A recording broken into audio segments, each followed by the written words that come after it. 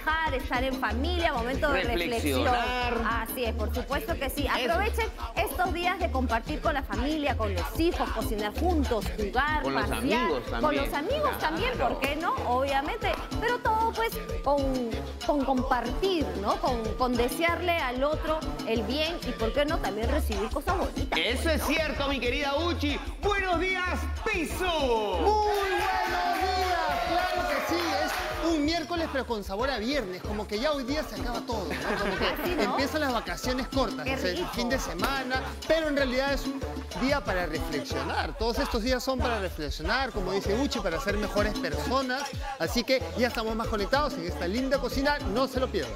Desde que llegó, desde que llegó, un aplauso para Piso. Llegó el lunes empezó, oye, esta semana es un poquito más corta, ya se siente el ánimo que eso parece viernes el lunes. Ya desde el lunes estaba con ánimo de viernes. Doctor Tejada, buenos días. ¿Qué tal, queridos amigos? Muy, muy buenos días. Efectivamente, es miércoles santo y es el fin de la cuaresma y hay que prepararnos para la Semana Santa. No estar esperando solamente el fin de semana, que Piso ya veo que se va, no sé a dónde se va, pero esta es una semana de reflexión, es Sí, una sí. semana de fe. Así que yo los invoco a vivir este espíritu de la Semana Santa como corresponde. Pero como todos los días, nos conectamos ya con esta actitud positiva que caracteriza a Más Conectados y nos lo hacemos con la salud, con un tema realmente muy importante que lleva la vida o que, que- que aparece en casi 4.600 personas anualmente y se lleva pues a la letalidad a más de 2.600. Así que hoy día tendremos a un profesional, a un especialista para hablar de este drama, de esta enfermedad que tiene factores de riesgo y que hoy los veremos en Cuerpo Médico donde la salud está más conectada que nunca. Ya sabes que tú te conectas con nosotros vía telefónica, pero también en nuestras redes sociales para que le puedas hacer la consulta que tú desees al doctor y con mucho gusto nosotros los vamos a leer. En nuestras redes sociales, mi querida Uchi. En Facebook estamos como arroba más conectados, en TikTok e Instagram estamos como arroba más conectados TV. Ya saben que a través de las historias de Instagram pueden hacernos sus preguntas y también si estás fuera de casita puedes vernos en Facebook Live, en vivo. Y llegó el momento de la niña, de nuestra engreída, De la de la, coquette, De la de la bellísima Nicolasa.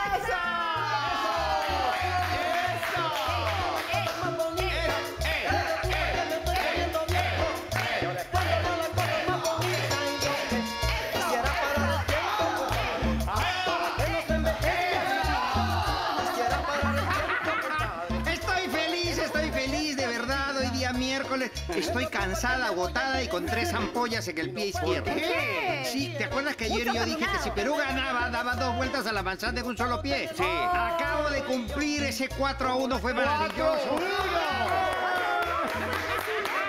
Claro que ese fue un partido como una pichanguita, porque ganarle a ellos le gana hasta primero de primaria le ganaba ese equipo. pero- Pero ya está, no ¿por qué importa la cosa que ganamos.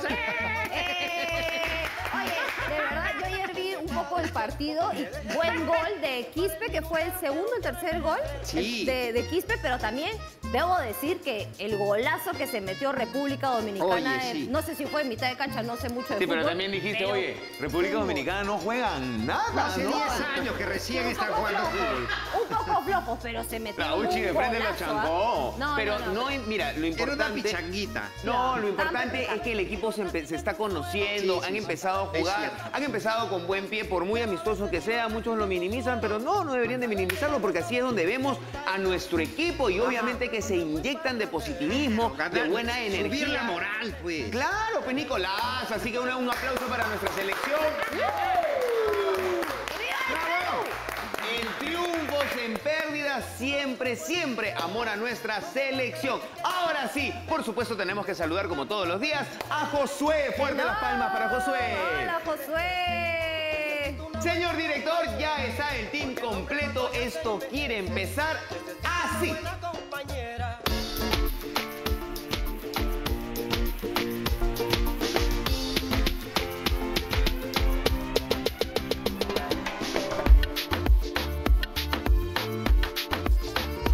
Y hoy en el programa vamos a conocer un poquito más sobre el yoga, mi querida Uchi, eso que tanto nos gusta a nosotros. Hoy vamos a hablar del saludo al sol. ¿De qué se trata esto? Lo vas a saber aquí. Esa es una práctica que podemos hacer todas las mañanas Ajá. porque despierta el cuerpo, fortalece también los músculos, ayuda a la mente y también a la respiración. Así que hoy vamos a aprender esa práctica, el saludo al sol. También te, vamos, te, te cuento que hoy día nos vamos a enterar de las tendencias de consumo en las redes sociales por esta Semana Santa. Las primeras son eh, turismo y viajes, de ahí ropa y accesorios, comidita, de comercio electrónico. Gracias, Lore, por tus servicios, por, por- por tu nota. Pero hoy tenemos eso de eh, tendencias de consumo por Semana Santa. Ey, y también lo que tenemos hoy día es un super plato que nos va a preparar nuestro queridísimo Pisu. Y este sí es uno de mis favoritos. ¡Pisu! El día de hoy tenemos un plato que no tiene pierde. Oh. Arroz con pollo con su cremita huancaína. ¿Quién no lo ha hecho? ¿Quién no ha hecho un arroz con pollo? Pero a veces te queda muy masacotudo, a veces muy seco. Hoy día te lo vamos a hacer de la manera perfecta. Ahora, pero, pa- Papi Pisu, una pregunta, ¿no? Ah. Porque hay gente, por ejemplo, que le gusta el, el arroz un poquito más masacotudo, un poquito así medio bizcochón, así. Hay gente que le gusta el arroz graneadito. un poquito más graneadito. Eso es cuestión de, que de, de gustos, ¿verdad? ¿O Claro hay, que un- sí. hay una forma específica? Depende mucho del arroz también, ¿no? A veces el arroz es Ah. bien graneado y te va a salir bien graneado. ¿Cómo te gusta a ti y yo te lo hago mejor? Ay, Graneadito. Dios mío, ¿cómo te Graneadito, Graneadito. tiene que ser graneadito, jugosito, porque a veces me ha pasado de que me han servido arroz con pollo un poco seco, digo... Oye, yo quiero Muy hacer- seco, seco, Sí, ¿no? seco, Como que no. ya muy graneado y ahí no resbala. ¿no? Exacto, pero quiero- si le... Perdón, perdón, yo quiero hacer un pequeño comentario. Ayer Pisu me manda por redes sociales un video de, de dos chicos que trabajan juntos y todo, todo hacen juntos, no están así, que se Sí. apoyan, todo. Y Pisu me dice, ¿no? Así éramos Chris y yo antes de que llegues tú. No, así no, le- así no le puso. Así. Así no le puso. Así. Ella a mí me dice Moy, obviamente de amor, de amorcito, mi su Moy. ¿no? Y, y Piso y le pone, así trabajábamos mi Moy y yo antes que tú llegaras. Sí, yo- lo bueno es que yo se lo digo, yo se lo digo Es cierto. abiertamente, Y- ¿no? y- Ella Uchi lo sabe. Claro, Uchi lo entonces ya, yo ya llegué, pero el señor y el señorito también quieren seguir juntos, engriéndose, y por eso es que Pisu, ¿no? Engríe a mi marido con la comida. Así lo enamoras. Es que ya no, Así ya lo no es lo mismo. Ya, Oye, tú pero- antes yo le daba, le daba en la, cu- la cuchara y yo le daba en la boca. Ahora ya, ya me, me limito, ¿no? Yo quiero, pero ahí nomás ahí está. Así, es Está- y, cierto. y como, y tú miras así como que... Te saca tiburón, te saca tiburón, Piso. Ojo, te tengo en la mira. Te No tengo quiero en la mira. No importa, tú ignórala, amigo mío, ignórala. eh. Tú sigue engriéndome, Ay, por mira, favor, con estas maravillas. en pantalla, logos Mira, nos hemos venido de azul, amigo. ¡Chócala! ¡Chócala, amigo! ¡Chócala! Ah, no, espérate acá. ¡Eh! Ahí Qué Son, lindo. oye. ¿Qué? Qué lordas que son. Nicolás, ¿a qué estabas diciendo? Nada, yo no quiero Nicolás. ver esas cosas. No quiere ver, Yo dice, no no quiero ver nada de esas cosas. ¿Por qué, Nicolás? No. Anímate. Animémonos. Y hoy día el doctor Tejada nos tiene un súper tema. Doctor Tejada, ¿nos podría contar un poquito a profundidad de lo que vamos a hablar el día de hoy, por favor? Claro que sí, Cris. En este miércoles nos conectamos con la salud hablando del cáncer de colon. Y este tema realmente es muy relevante porque año a año se van incrementando los nuevos casos, casos de cáncer de colon, producto de la alimentación, de los genes y varios factores que hoy día vamos a hablar. Y este 31, que va a coincidir un poco con el feriado, es el día en el cual se sensibiliza al mundo entero acerca de esta enfermedad que en todo el mundo está incrementándose su presencia y su tasa de letalidad o sea, de muerte, es muy alta. ¿no? Entonces, el día de hoy vamos a tener un profesional de primera para que nos oriente acerca de los factores de riesgo, de cómo prevenirlo y cómo diagnosticarlo oportunamente, que es lo más importante. Así que, si usted tiene dudas al respecto del cáncer de colon, cómo se presenta, cómo se diagnostica, llámenos al 619-0784 y al 619-0781, donde estaríamos o estaremos muy contentos de darle una orientación al respecto. ¿Qué más que tenemos el día de hoy? ¿Qué más? Además, haciendo? Pasa que me olvidé, me olvidé de haber puesto el teléfono en vibrador Ay, y empezó a sonar y me puso nervioso. Me puso nervioso. sonando. Y le Listo. Oye, les cuento que hoy día también vamos a tener productos innovadores gourmet a base de pescados y mariscos para esta Semana Santa. ¡Qué rico! ¡Qué Oye, tenemos rico! un montón de info para la Semana Santa. ¿ah? Va pintando un super programa, Nicolasa, por favor, cuéntanos quién Te viene. cuento, nuestra Cuenta. artista invitada del día de hoy es antropóloga. Empezando por ahí, antropóloga. Qué maravilla, voy a hacer que me estudie. Pues cantante soprano es Silvia Falcón en Más Conectados. Invitada que tenemos Sí. el día de hoy. Nicolasa, dicen que es la sucesora de Imazuma, ¿Ah, que sí? llega a las notas de Imazuma. ¡Guau! ¡Qué tal maravilla! Sí, sí, sí, sí. ¿Qué tal La vos? vamos a hacer cantar, ¿ah? Hoy la vamos a escuchar aquí, por Oh, agudo, supuesto. de todo. Por supuesto que sí, así que ya sabes, ya tienes todos los datos para este programa, por supuesto con una inyección de buena energía, de positivismo. Recuerda que eres todo lo que piensas, así que hay que pensar bonito. Nos vamos al primer corte del programa y ya regresamos. Esto es Más Conectados. No te muevas. Ya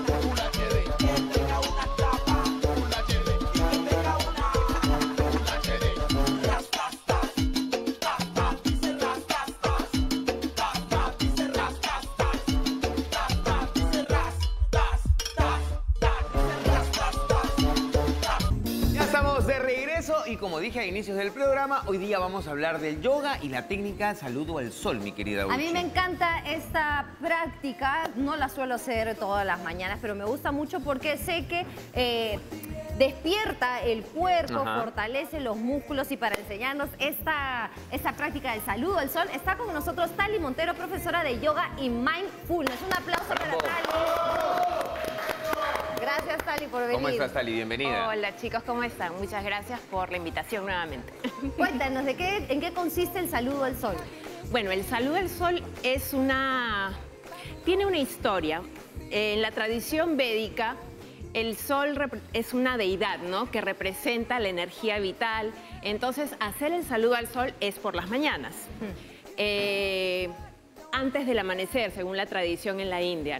Y es como un agradecimiento y reconocimiento por la energía vital que el sol regala pues a todos los seres vivos, ¿no? Que te revitaliza, te da vida, te da fuerza, te da energía y vigor. Un poco esa es la historia de el Surya Namaskar, que es en, en sánscrito. Surya significa sol y Namaskara significa saludo. También hay saludo a la luna, que es Chandra Namaskara, que se hace La noche. en la noche. En la noche, ¿no? Ah, Sí. mira, eso no sabía. Con una No, ligera no variante, pero casi parecido al saludo al sol. Ok, ¿y en qué consiste? ¿Qué es lo que tenemos que hacer nosotros para hacer el saludo al sol? A ver, consiste en siete posiciones, siete posturas que se hacen del lado derecho y del lado izquierdo, ¿ok? Eh, implica flexibilidad, equilibrio, fuerza, mucho movimiento. Es una secuencia bastante dinámica que uno lo usa como un calentamiento previo para practicar alguna asana de yoga después, ¿no? Es como el inicio de tu práctica de yoga. Ok, perfecto. Entonces, manos a la obra. Dale. ¿Están listos? Sí. Sí, vamos. Muy bien. Hola. Entonces vamos a ponernos hacia adelante del mat. Es, es importante estar un poquito, ahí está. ¿Ok? Me voy a poner un poquito más atrás para no chocar. Para no chocarse. Entonces vamos a separar los pies al ancho de las caderas o también puede ser con los pies juntos. Cualquiera de las dos posturas es este, está bien, ¿ok? Vamos a llevar los hombros hacia atrás para siempre acomodar nuestra postura. Y nos vamos a quedar un momento en la posición de Tadasana o postura de la montaña de pie y colocamos las palmas de las manos en el pecho.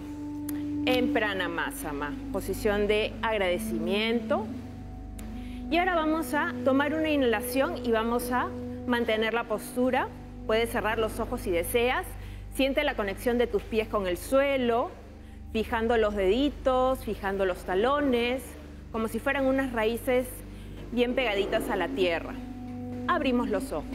Empezamos con la secuencia, primero todo el lado derecho, ¿ok? Inhalo, llevo los brazos hacia arriba y hacia atrás. Exhalo, llevo las manos hacia el piso. Puedes flexionar un poquito las rodillas. Inhalo, llevo el pie derecho hacia atrás, un paso largo. Apoyo la rodilla en el suelo y miro al frente. Inhalo, alargo la columna.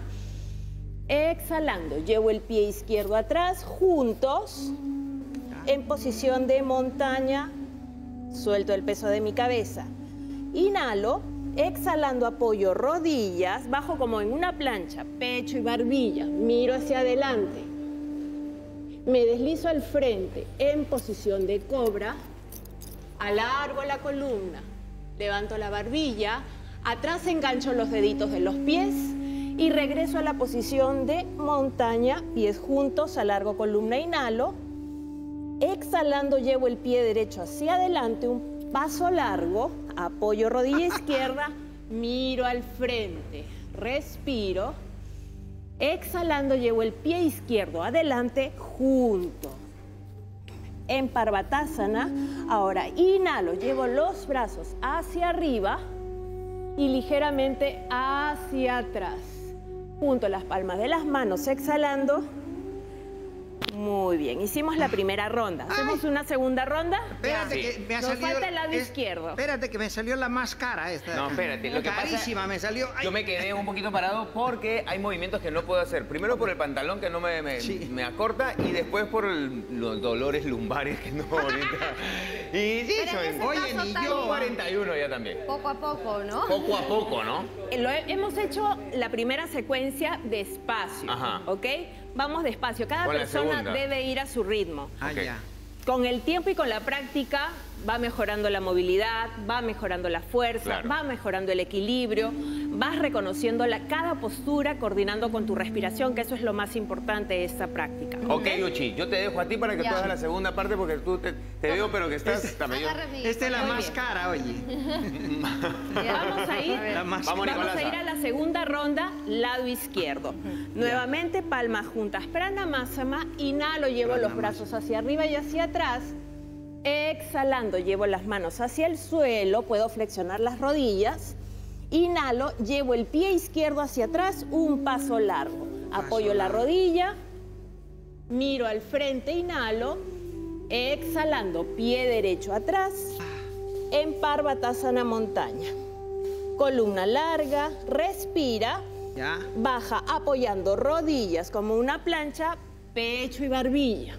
Miro al frente, me deslizo en cobra, respiro, levanto el rostro y exhalando regreso a la posición de montaña, pies juntos, columna larga, inhalo.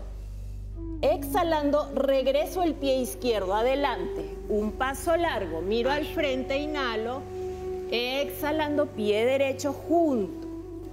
Mantengo la flexión. Inhalo, llevo los brazos hacia arriba y hacia atrás. Junto las palmas al pecho. Y vuelvo a Tadasana. ¿Ok? ¿Cómo estamos? Qué rico. Tadasana. Rápidamente tu cuerpo entra en calor, se activa. En, en el invierno donde amanecemos con congestión, quizás con un poco de rigidez, que es normal que el cuerpo esté rígido en las mañanas, esta secuencia del saludo al sol rápidamente te activa, mejora la movilidad, mejora la fuerza. me ha hecho Entonces, sentir más fuerte, o sea, como más, más durita, más tonificada. Yo en Claro. las mañanas me, me levanto, me pongo en el borde del colchón y bueno, lo único que hago es estirar la columna y el cuello, pero esto te despierta todo, ¿no? La cadera, la espalda, o sea, te ayuda a fortalecer. mejora muchísimo tu estado de salud físico, mental, porque estás en un movimiento constante donde tu atención está plenamente en cada movimiento, en mantener una respiración coordinada con, con cada postura. Y eso es como una meditación en movimiento también. Es- Entonces, es, genial. Eso lo podemos hacer todas las mañanas, igual para las personas que no lleguen a, a colocar las manos en el piso, es poco a poco, estirar, ¿no? Eh, y conectar con la respiración. ¿no? Eso es bien importante. Es súper importante, porque eso también te ayuda a seguir estirando la respiración, ¿cierto? Así es, así es. La respiración tiene que ir contigo en cada movimiento. Si no puedo apoyar las manos, flexiono las rodillas, me acomodo. Hay que ser amable con el cuerpo, no hay que forzarlo. Y, y el yoga es así, el yoga te invita porque es amable. Podemos hacer de dos a tres rondas como para entrar en eh, acondicionamiento, fortaleciendo. En la medida que yo sienta que mi cuerpo está más fuerte, le agrego una ronda más. Más o menos si yo hago 20 minutos de saludos al sol, puedo quemar como unas 400 calorías. Ah, excelente. O sea, tiene múltiples, múltiples beneficios. Claro, y después de mi calentamiento ya puedo hacer otra, Otros ejercicios otros y la rutina que- otras asanas de yoga también. Claro, tal, y si las personas quieren seguir aprendiendo de, de posturas de yoga, ¿dónde te pueden encontrar? Bueno, yo estoy en Instagram como arroba esali y ahí me pueden encontrar. Perfecto, muchísimas gracias, Tali. Espero que nos veamos el próximo, la próxima semana. la próxima Claro que semana. sí. Y nos vamos nosotros a la cocina. Chicos, ¿cómo van con esa receta? Ay, la receta tienen que darla, ¿eh? Perfectísimo, mi querida Uchi. Pisu, ¿cómo vas? Relajado. Estirado. Soy otra persona. Mira, Soy otra persona. Yo he ido avanzando, estirando, Ya el- está friendo el pollito. dorando el pollito. Ya está dorando el pollito que huele delicioso. Ya, el pollito frito, qué rico. Sí. Oye, frito. Vamos con la receta, chicas. Lápiz Vamos y con la papel. receta antes de ir con esto, Lápiz y papel, todos en casa. Pónchala, pónchala. Listo. Dice así. Ajá. Arroz con pollo con crema a la huancaína. Arroz con Neces- pollo con crema a la huancaína. Necesitaremos cuatro presas de pollo Cuatro o medio presas. pollo. Eh, cuatro presas de, de pollo. Una cebolla morada. enteras. Una cebolla morada. Una cucharada de ajo molido. Una cucharada de ajo molido. Dos cucharadas de ají amarillo. ¿Cuántas? Dos cucharadas de Dos ají amarillo. cucharadas de ajo amarillo. De ají amarillo. Una lata, o sea, vamos a usar un chorro de cerveza, ¿no? No es Ah, una lata. ¿sí? Claro. Ah, ya, mira, ¿y, y qué hacemos con la otra mitad? Me la tomo. No. Y un atado de culantro. Me- media lata de cerveza, un atado de culantro, Cuatro tazas de arroz cuatro tazas de arroz, y dos tazas de agua. dos tacitas de agua. Sigue para la huancaína. Sigue, sigue para la huancaína. Sigue huancaína todavía receta. claro. Ok, Bueno, ¿qué la viene con la huancaína? Ahí está. Ahí está. Falta un choclo. Un Una choclo. zanahoria. Una zanahoria. Diez vainas de alberja. 10 vainas de Una alberja. cebolla morada. Una cebolla Cinco morada. ají amarillos. ¿Cuántos? Cinco ají amarillo. Dos dientes de ajo. Dos dientes de ajo. 150 gramos de queso fresco. 150 gramos de queso fresco. Aceite y galleta de soda. Aceite y unas galletas de soda para hacer la huancaína. Exacto. Así que lo que vamos a hacer es ya tenemos prácticamente una cocción del pollo al más del 50% y vamos a hacer nuestro aderezo con cebolla. Cebolla. Y el Ahí pollo está frito, no, no Pisu. Ay, Disculpa. el pollo está frito, ¿verdad? Claro, está bien doradito. En el mismo Sí. aceite, en el mismo aceite del pollo estás poniendo la- Claro, para la cebolla. para Recoger el sabor. recuperar todos esos sabores, ¿no? Sí. Agregamos ajo, pasta de ají amarillo, Pastita de ají amarillo, ají panca, ají panca. Oye, la mayoría de platos tiene eh, el aderezo, el ají amarillo y el ají panca, ¿no? sí. ¿Cuán- es- Son varios los platos que, que- que voy viendo. La que comida tienen. criolla definitivamente se caracteriza por nuestros insumos. ¿no? El Y en problema es este caso, cuando- nuestros ají son base para nuestro aderezo. El problema es cuando sale del país no encuentras ají panca, no encuentras ají No amarillo. aunque ahora hay congelado bastante en Estados Unidos, por ejemplo, En hay Estados hasta Unidos. Yo estuve en. España y no encontraba por ningún lado. ¿Y, y cómo cocinabas entonces, Nicolás? ¿Cuál era la el inventaba. Había otro tipo de ají que es como un ají dulce, entonces lo, lo pelaba y hacía mi huancaína con todo eso. Ah, sí, pero no sabe igual. Pero creativa, fíjate la No Nicolasa. sale, no sale igual, pero sale. Claro, de que sale, Así que mientras, mientras matamos bien el aderezo, ¿Ya? este aderezo luego se va a licuar con un poco de agua y en ese juguito se- es donde se va a cocer el pollo. Una vez que el, pollo esté bien cocido, en ese juguito se va a hacer el arroz. Piso, una consulta. Ahí has puesto solo las hojitas de culantro. Esta vez no. No, le he puesto todo. Ah, el ya, el tallo tallito con también. Ya no vi. el- ok, el ok, tallito, claro. sí. Ahí está más el Igual sabor, esto se va a licuar, ¿no? Así que Claro, no se va a sentir. Ah, Bueno, ese es todo el avance en este bloque, así que... Y con eso ya tenemos la receta. Otra Era cosita que he hecho. Ajá. eh, eh, estoy sancochando dos ají amarillos Ya. y esto lo voy a licuar con el queso, con la leche, con con, pepa? todo. Ese es para la que huancaína. pique, con la huancaína. Claro. ¿Pique? Así le echas poquito y comen poco porque pica, pero. No, ellos no quieren comer. No, No te no preocupes, acá felizmente lo de los chicos generalmente nunca quieren comer. Nos vamos a la pausa y ya regresamos. Esto es Más Conectados. No se quejen, chicos, porque les va peor. ¡Ya volvemos!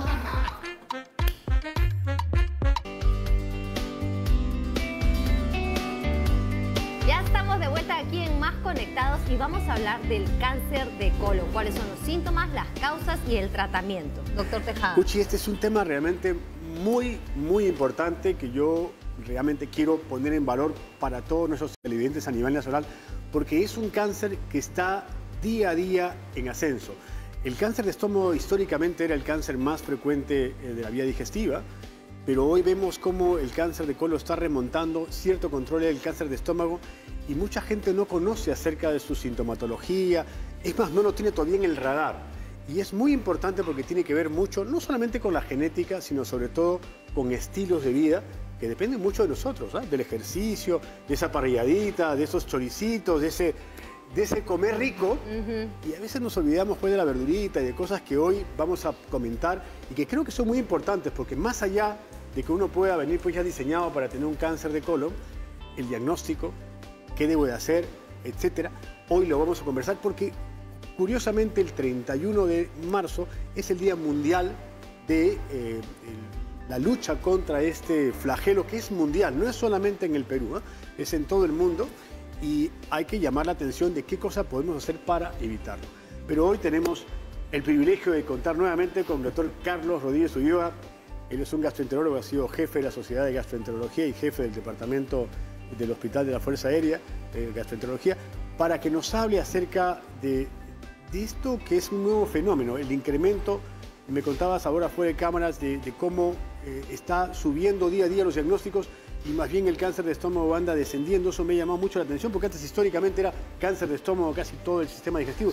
En esto incluye el recto, por supuesto, ¿no? Sí, claro. Buenos días, eh, muchas gracias por la invitación. Buen Me día. siento como en casa ya prácticamente. Qué bueno. y con mi amiga Nicolás al costado estoy muy contento también. Bien acompañada. Bien acompañada. Eso sí. Ay, Eh, gracias. Efectivamente, mira, este, hemos visto en los últimos años un ascenso significativo en los casos de cáncer de colon. Y también un descenso que yo pienso también es significativo en la incidencia del cáncer de estómago, por lo menos en algún grupo social, en algún grupo económico, en algún grupo poblacional. Hay grupos en los que inclusive No. está por encima en las cifras. No de- hablemos, claro, de todo el Perú, porque en el 4.600 Perú predomina el cáncer de estómago, pero sí en algunos grupos poblacionales ya el cáncer de colon se está haciendo notar y lo principal es que se detecta muy tardíamente y es causa de alta mortalidad. El cáncer de estómago puede haber disminuido como consecuencia, pienso yo, de que de hace unos 30 años ya se tiene conciencia de que existe un germen que se llama Helicobacter pylori y se trata. Y entonces eso era un factor muy importante en la causa del cáncer de estómago, pero ahora ha disminuido su prevalencia en algunos grupos y con- por ende ha disminuido también este, la incidencia o la prevalencia de cáncer de estómago. Doctor, Está Rodríguez, disminuyendo. ¿Qué factores de riesgo hay para la aparición del cáncer de colon? El cáncer de colon tiene pues eh, varios factores como todas las enfermedades, es multifactorial. El factor genético es muy importante. Tener un- ¿no? Vienes ya con una deleción se- cromosómica. Como un pariente de primer grado o dos parientes de segundo grado este, que han tenido cáncer o pólipos de colon ya lo convierten a uno en una persona susceptible de tener esta enfermedad. Segundo, los estilos, el estilo de vida, ¿no? Ahora se propugna un estilo de vida sano que tiene que ver con un consumo razonable de una dieta sana también, ¿no? Eso es un tema que creo que deberíamos ampliar, doctor Rodríguez, porque esa es la parte no modificable. Yo si vengo con los genes con una deleción cromosómica, bueno, ya me queda solamente el chequeo.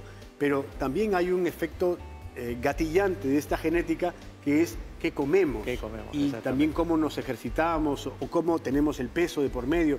Esto tiene que ver un poco con la generación del cáncer de colon. Así es, o sea, una dieta que esté rica en grasas trans, ¿no? O sea, las carnes, por ejemplo, las carnes eh, cocidas a alta temperatura generan un carboncito que se forma encima de las carnes que es rico en unas sustancias que son cancerígenas, los Sí, las benzopirenos. nitrosaminas, ¿no? La- los benzopirenos, ¿no? Se acabaron las parrilladas entonces. No, y sobre todo, ¿sabes qué, Nicolasa? La- Sí.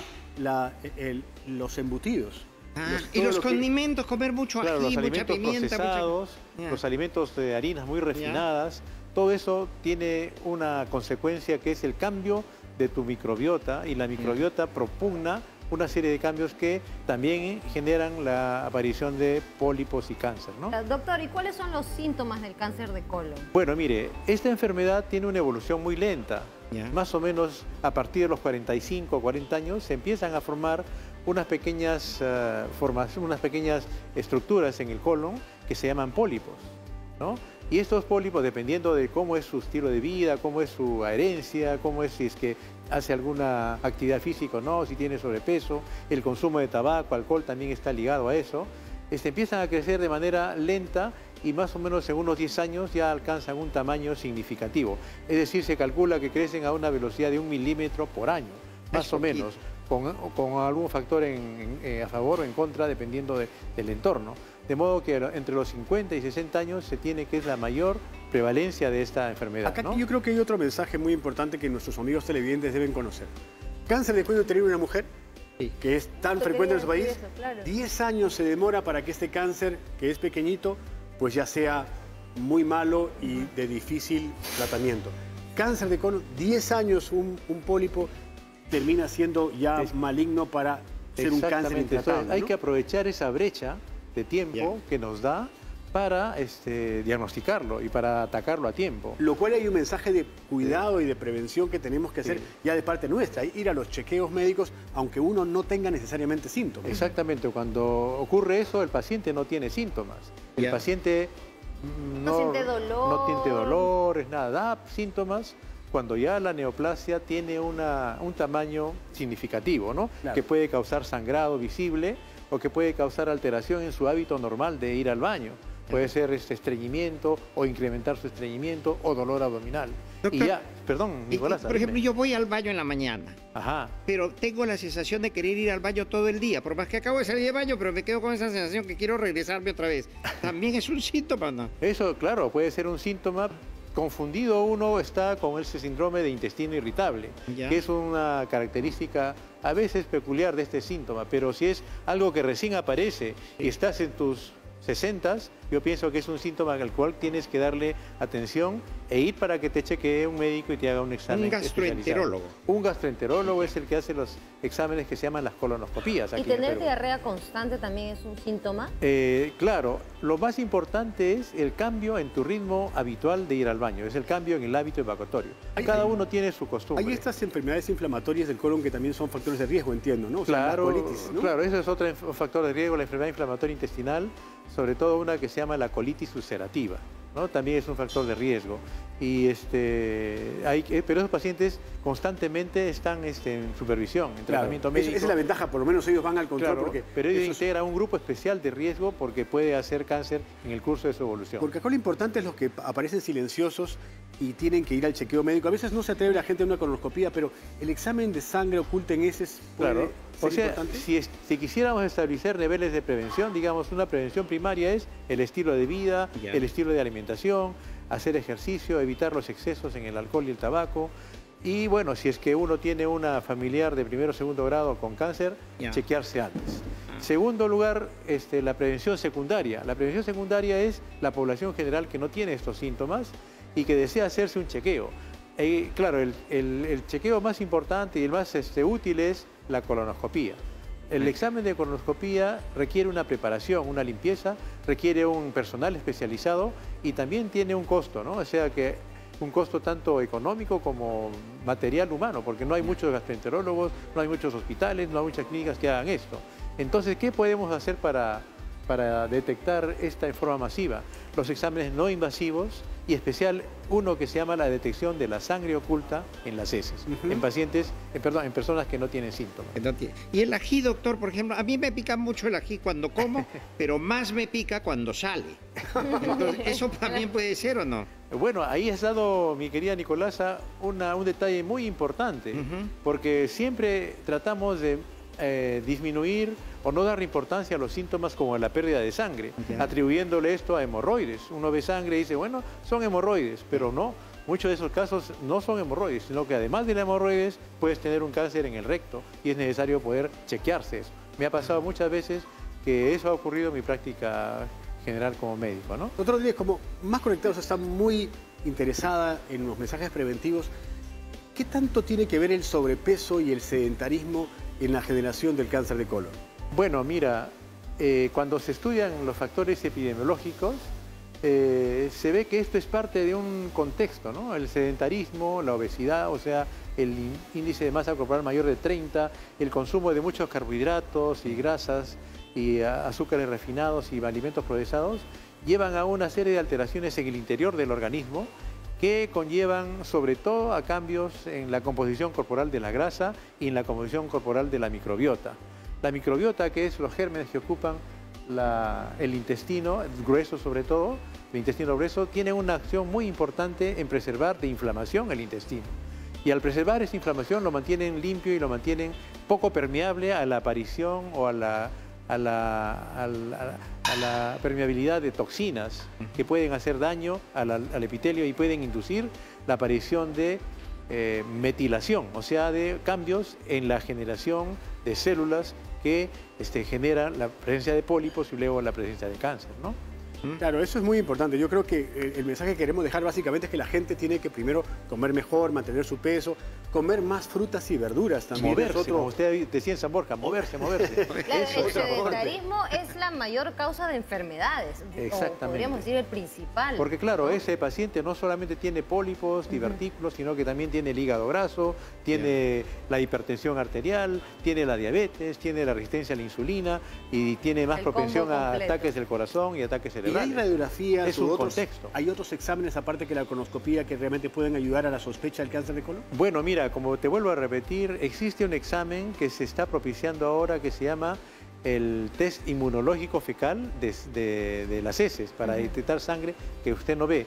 La ventaja sobre las pruebas este, previas es que esta prueba detecta este, partículas no digeridas de sangre, o sea que previenen prácticamente del colon. Y a diferencia de los anteriores que podías tú sangrar de la nariz, de la boca y te detectaba sangre una prueba oculta. que estaban haciendo de un ADN de- de- del tumor. Hacia eso le agregas, claro, ahora se, este, puede, puedes hacer por técnicas especiales dosaje de proteínas propias del cáncer, le agregas a sangre oculta más cáncer, entonces ya tien- tendrías... Pero eso todavía no es masivo. Todavía no es O masivo, sea, está eso está todavía a en nivel, plena podría experimentación. diagnosticar cáncer. ¿no? Lo otro es para encontrar lesiones precancerosas o cáncer en su inicio. Porque hay que ser más fácil para el diagnóstico porque la colonoscopía no Mira, es tan sencilla. a veces. Sí, hacia eso va, la- eh, o sea, esta, este tema de la ciencia va moviéndose muy rápidamente, ¿no? Hace poco han aparecido, hace pocos años, ¿no? Bien. Han aparecido este, artículos que relacionan a un germen de las caries dentales.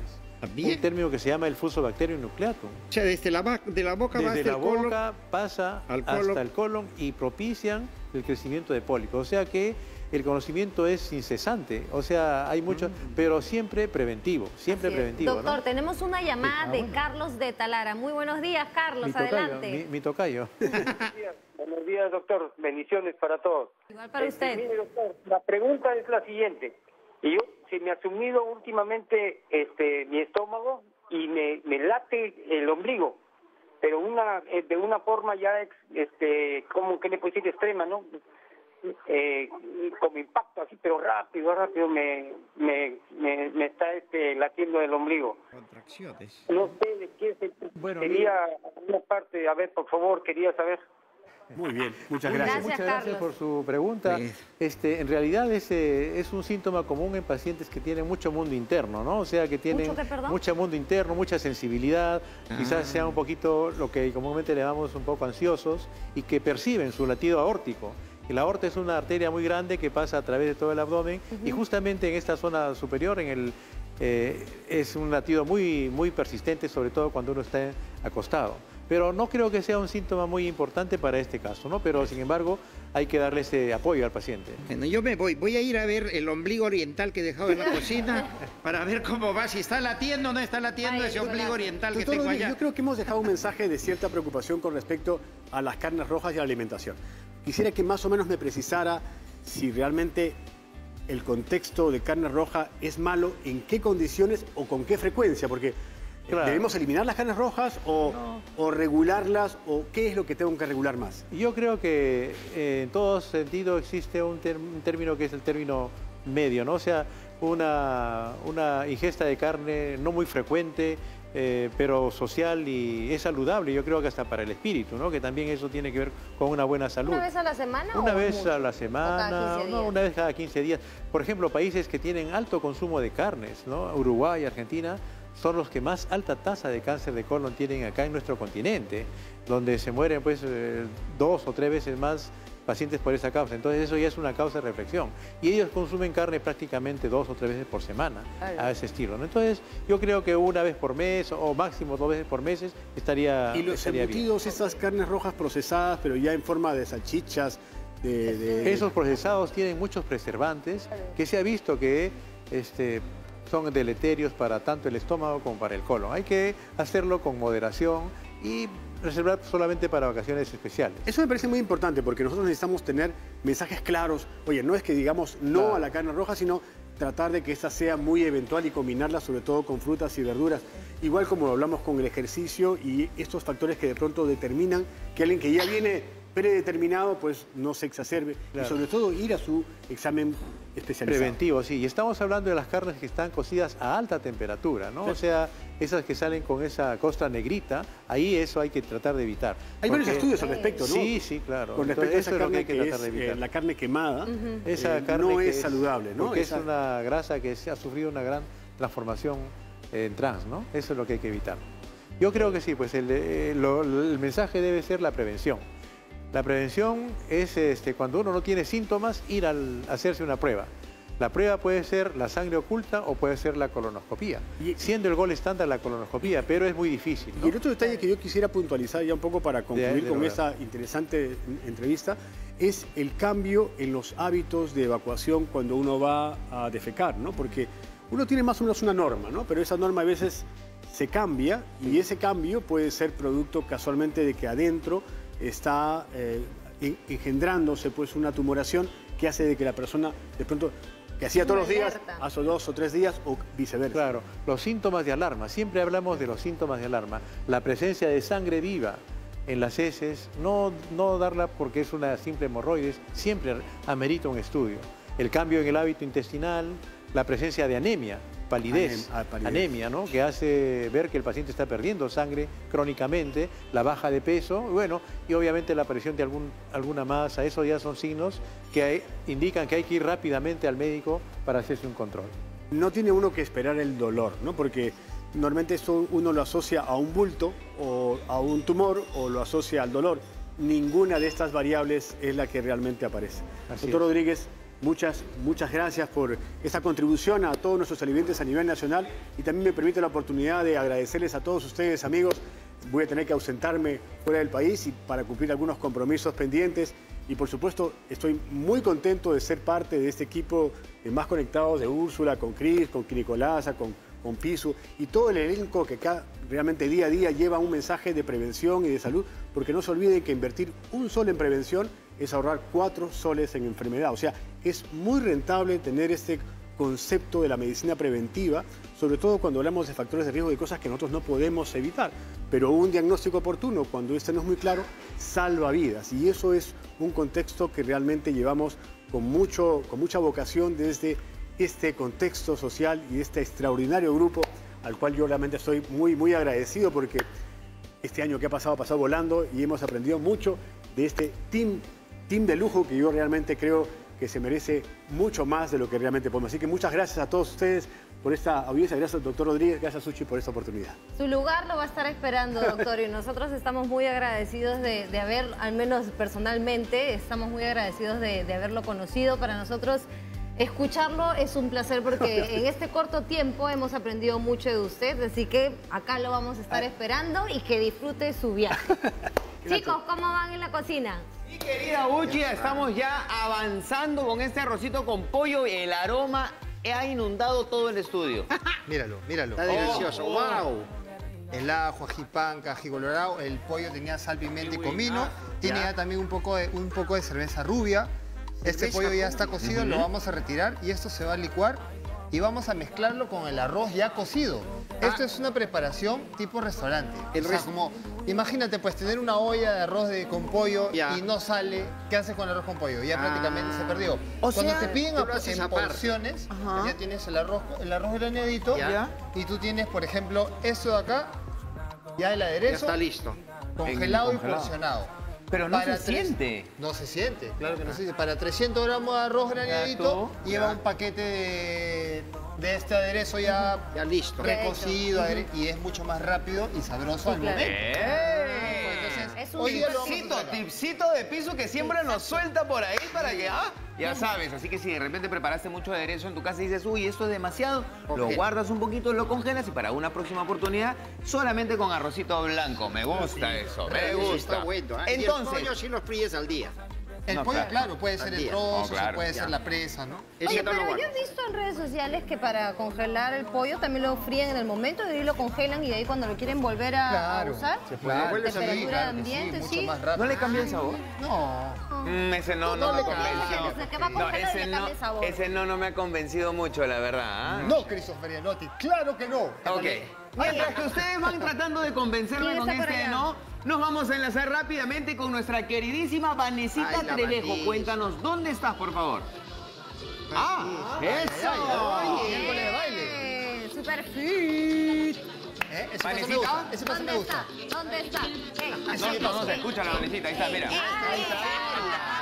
¿Qué tal, chicos? ¿Cómo están? Buenos días. Aquí estamos en el rico Callao con toda su bonita energía y con todas las mamitas que están haciendo deporte. Mira, mira, mira estas bellezas. Están haciendo su deporte saludable como todos los fines de semana porque justamente, a ver si aquí me, si Alexis me ayudas, justamente estamos en una feria que se está desarrollando y se va a desarrollar hasta el 31 de marzo, una feria que reúne a grandes artesanos nacionales, sobre todo aquí de la región del Callao. Y justamente me encuentro aquí con una gran gran, gran artesana. ¿Qué tal, estimadas? ¿Cómo está? Buenos días. ¿Qué tal? Ay, se me quiere escapar, se me quiere escapar. Usted está también aquí visitando a María. Sí, este, María Maritere es una artesana de muchos años, una afrodescendiente, perleña de corazón y acá trayendo sus lindos trabajos. Sí, bueno, queremos agradecer a- al alcalde Adrián Sen por la oportunidad de esta feria tan hermosa, es la primera vez y hemos traído acá diferentes productos afroperuanos para ofrecer. Invitamos al público, estamos hasta el día 29, desde las 10 hasta las 7. Pueden ver precios cómodos. Así Ahí es. está, mi reina. Muchas gracias, María. Y ahora ustedes se preguntarán en dónde está Genaro. Genaro está por allá, creo, Alexis. A ver, a ver.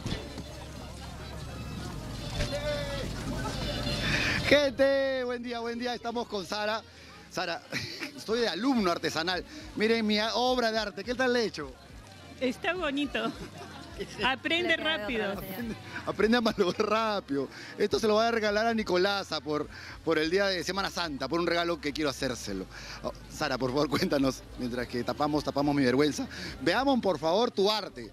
Rapidito, ¿tú de dónde eres? Yo soy del distrito de La Punta y me dedico eh, actualmente básicamente a la billutería. Billutería. Y además no solamente ella hace esta arte, sino ella enseña. Si alguien quiere venir, señora, señor, niño, niña, Ya, pueden ubicarme aquí en mi acá en tu módulo, hasta el domingo. hasta el domingo en el módulo, ¿no? Y les recomiendo Ay, eh, que vengan porque va a estar todo muy bonito. ¿Y va a venir tu familia? Va a venir mi ¿Quién familia, de tu mi- familia para mandar mi saludos? esposo Ricardo, mi mami, mi hijita Sara que está en Estados Unidos. Ya, saludos a Ricardo, entonces estamos acá cuidando el negocio, pero además nos preguntamos dónde, dónde está Vanesita. Vamos a buscar a Vanesita, vamos por allá, vamos a allá.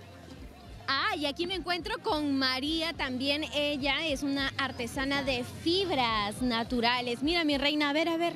¿Qué- cuéntanos qué es lo que estás haciendo aquí y hace cuánto que realizas estos trabajos maravillosos. Mire, yo vengo desde el año 2011 que he, tra- he trabajado en los humedales de Ventanilla como brigadista ambiental y al mismo tiempo tejedora. Ahí Desde ahí conocí la fibra vegetal. Ay, qué lindo. ¿no? Pero mira estos, estos detalles, porque miren chicos, María misma los pinta, mi reina. ¿Cuánto más o menos te tarda, por ejemplo, hacer esta canastita? Mire, yo, yo a mí me gusta hacer las cosas bien, despacio, con calma, porque para ser apurada me va a salir mal, ¿Y entonces más o menos prefiero. cuánto te tarda? Yo, por ejemplo, puede ser tres días, Claro. como puede ser una semana, depende mi Maravilloso, manera de trabajo.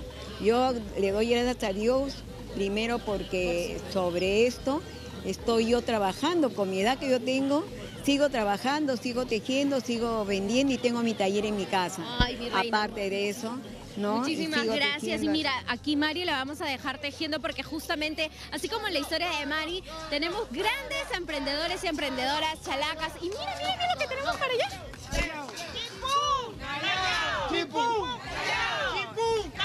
Se siente, ah, ya- ya la Semana Santa para nosotros ya está, salimos de Lima, chicos. Oiga, Pablito, cuéntanos, ¿hasta cuándo van? ¿De qué horario, qué horario, por favor? Genaro, estamos desde las 9 de la mañana, prácticamente 10, hasta las 6 de la tarde. Ay, ay. Hoy y hasta el día domingo, 31. Qué gran Semana Santa. Además, miren las alternativas que tenemos acá, hermosísimas en todo nivel, inclusive gastronómicas, ¿ah? para dulce, para almorzar, plato de fondo, para brindar, etcétera. Julito, usted me contaba, repito, Vanessa, te quería contar algo, Julito, por ahí. Así es, cuéntanos cu- la participación muy importante del gobierno regional de Callao, de la municipalidad también de La Perla para poder realizar este evento. Bienvenidos a todos los vecinos del Perú, de acá el Callao, Lima, San Miguel. Estamos aquí en el Mirador de la Perla, el nuevo destino turístico del Callao. Este es como el arcomar del, del Callao. Y estamos aquí con el día de hoy, gracias a la Municipalidad de La Perla, al alcalde Rodolfo de Ancén, en conjunto con el Gobierno Regional del Callao y Mincetur, dando la oportunidad a todos los emprendedores artesanos y también emprendedores de, de comida, los ganadores de mistura también, que nos acompañan el día de hoy. Y invitamos a todos los vecinos desde el 27 al 31 de marzo, vengan aquí a disfrutar esta Semana Santa y también puedan apoyar a todos los eh, de aquí de La Perla. De 10 a 6 de la tarde, ya lo saben exactamente dónde se encuentran. Estamos aquí en el nuevo Mirador de La Perla, ubicado en la avenida, en la avenida Costanera, cerca eh, a San Miguel, ¿no? Y también si vienes por el Callao, vienes por toda la Costanera desde la punta y llegas aquí en el límite de San Miguel, aquí en el Mirador de La Perla. Buenísimo, chicos, ¿qué les parece? ¿Ustedes vendrán, Nicolás, a Cris? Vanesita, como siempre, cada plan que, que podamos tener para que se pueda hacer en familia es un super plan. Así que ya saben, para las personas que están aquí en Lima, para las personas que no salen de viaje y para las personas que vienen del interior a hacer un poco de turismo, vayan a la feria que van a encontrar super precios y lo más chévere es que pueden estar en familia. Chalaco, ya somos chalacos nosotros, ya. Eso, eso, chimpún. ¡Callao! Eso, gracias chicos. Oye, qué chévere. Genaro, está, Nicolás está esperando el, el collar que le has hecho, ¿ah? Oye, sí, estoy esperando eso. Con ansias, con ansias, mi collar que me ha hecho que Genaro. termine, pues. Es muy- No sé si le hizo un collar o una pulserita, pero algo le hizo. Algo le hizo, ¿no? Lo importante es que le traigas el regalito, mi querido Genaro Vanesita. Muchísimas gracias por este enlace. Que tengan un lindo fin de semana largo. Nosotros vamos a continuar con el programa porque nuestro queridísimo Pisu está preparando un arrocito con pollo, con Ya papita casi. la huancaína, que tiene todo el estudio, ver, pero papi. embelesado. Huele Estamos- riquísimo. El olor de la cerveza, este licuar. aderezo es básico. Ajá. ¿Qué vas a licuar el Voy a aderezo? licuar el aderezo para Ya. que y esto se va primero voy a saltear a la hora ya de emplatar. Ya. Echo un poquito de aceite, salteo un poquito el arroz y luego le tiro este aderezo que ya tiene Sí, todo. y es bien importante que se cocine bastante, ¿no? Por la cerveza. Claro. O sea, se evapora rápidamente en realidad, ¿no? Oye, y eso, mi, como mi mamá siempre dice, Aleja. hay que alejarnos, mi Aleja. querida Ahí no, Uchi. para acá, me voy, me voy, me voy, me voy. Aléjate. Acá. Tranquilos, tranquilos. Todo. Todo está bajo control. No sé, está Ahí está. caliente eso. ya. No, falta. Mientras que él va licuando, nosotros nos vamos rápidamente a un avance informativo, pero ya sabes que terminando el avance, regresamos con el programa, así que no te muevas. Estamos de regreso y quiero pedir fuerte las palmas para Silvia Falcón.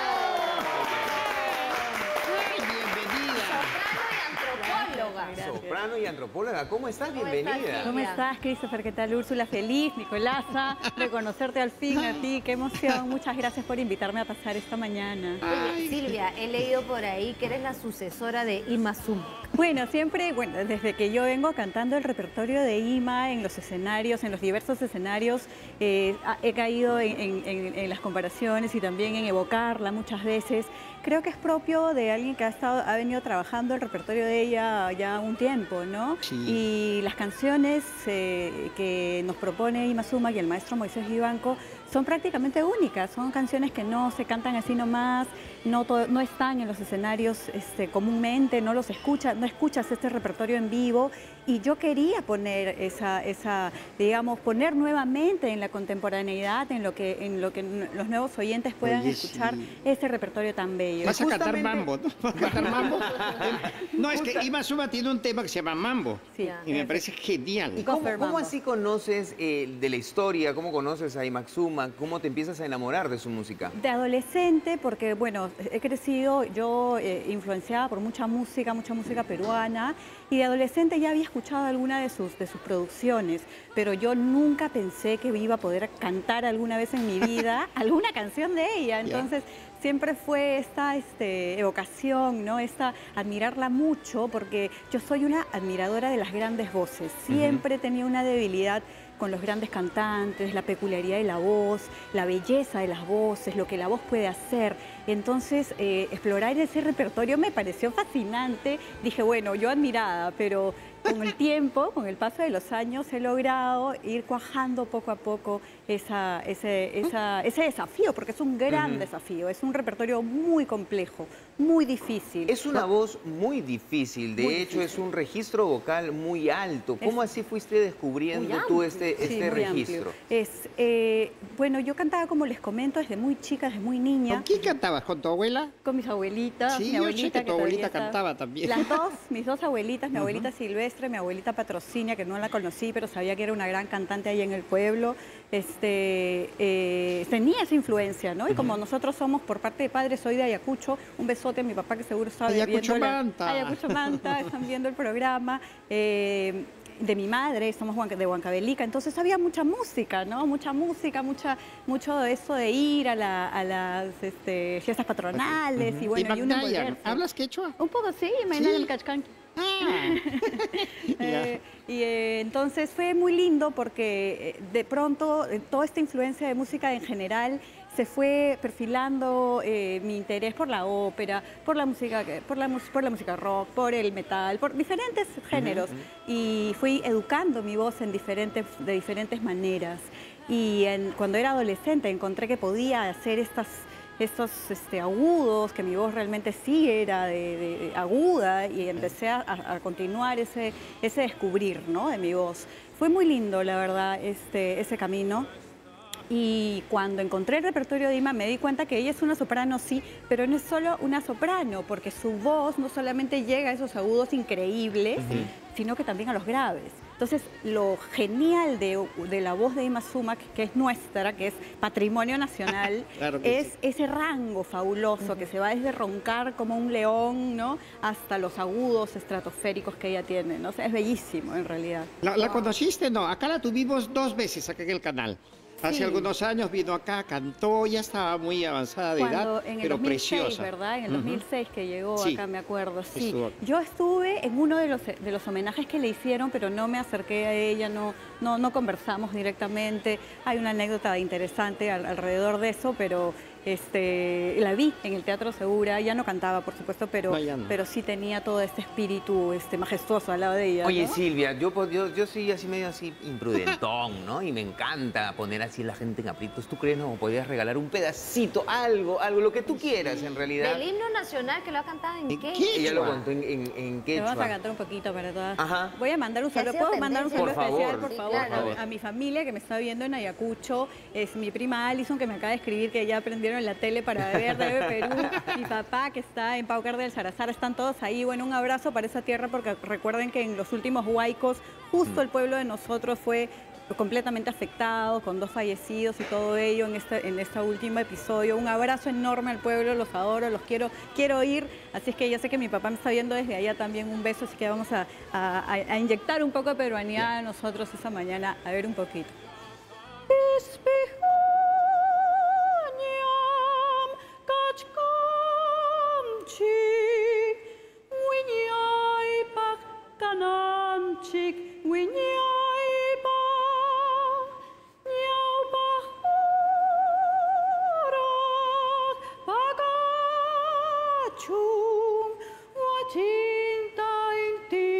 Pagachum, Pagachum.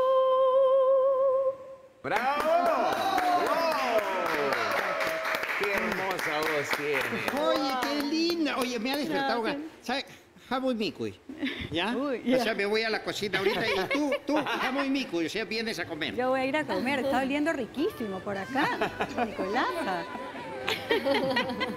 Silvia, ¿y dónde te vas a presentar este año? Este año tenemos lindos proyectos, primero de grabación y de, y de- y de, este, producción. Vamos a soltar muy, dentro de muy poco eh, un, un EP con tres temas que hemos grabado, mi esposo y yo, de, los, de las canciones del maestro Escajadillo. Eh, desde hace un tiempo yo vengo diversificando mucho mi repertorio.